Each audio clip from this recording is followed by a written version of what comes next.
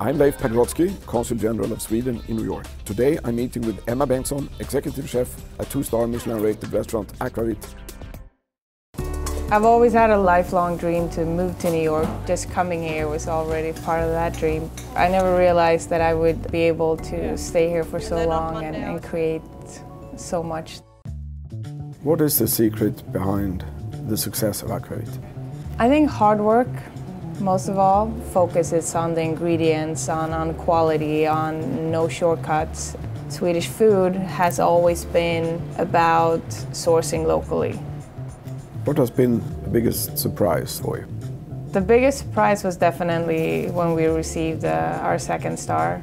We worked so hard when we got the first star, and then the two came, and we were like, wow. What else is there to strive for for you? There's always a third. I'll talk to Bradley about the boxes. And what has been the biggest challenge? Just running this big of operation, running a kitchen, managing. Some days it feels like you're a mother with, with 45 kids. I just wanted to take a second and um, show you a little bit um, about the Swedish traditions that we keep going. Uh, we do our um, our herring in the house. So you would start with our matjes, glass blower, and then we do a mustard. Uh, we have a horseradish. May I try one? Yeah, go for it.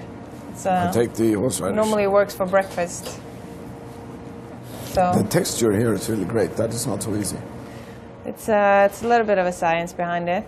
So I take another one. Yeah, yeah, go for it. How do you stay relevant? How do you continue to develop? You gotta keep pushing. You gotta involve new people, new ideas. Stay focused on not being comfortable. I'm living in the dream at the moment. It's absolutely amazing being able to do this every day. And um, for now, I'm here and this is it.